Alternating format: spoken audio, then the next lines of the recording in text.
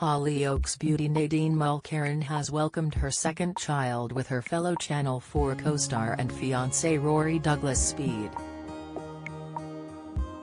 The actress, who played Cleo McQueen on the Channel 4 soap, confirmed the birth of her second child in a gushing post on social media.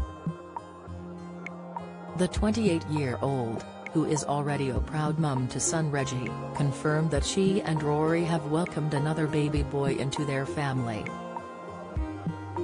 Nadine, who exited Hollyoaks only a few days before giving birth to her second son, revealed that she's called her newborn baby, Dougie James Speed.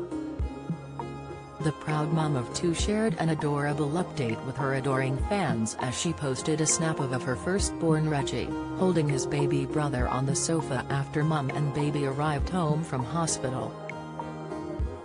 Alongside the snap, Nadine begged, Reggie would like to introduce you all to his new little brother Dougie James Speed. 8.1 pounds, May 24, 2022. Has our chilled, fuzzy little old man that's completed our family. That'll be me now, a life of dinosaurs, cars and willies flying around the gaff. Wish me luck and pass this mama a champagne.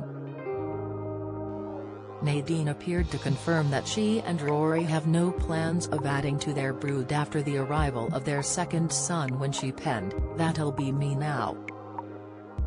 Happy couple Nadine and Rory waited until the birth of their baby to discover their gender.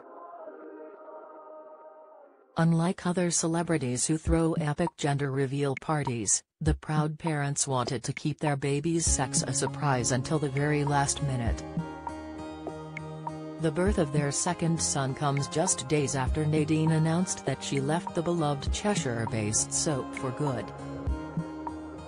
Nadine appeared on Hollyoaks for the duration of seven years. The talented actress first joined the cast back in 2015. She then went on to act out some of the most emotionally driven storylines ever played out on the soap including her story surrounding anorexia in the lead-up to her wedding day with her on-screen partner Joel Dexter. Nadine is now hoping to focus on her family in the meantime until she enters the world of acting again.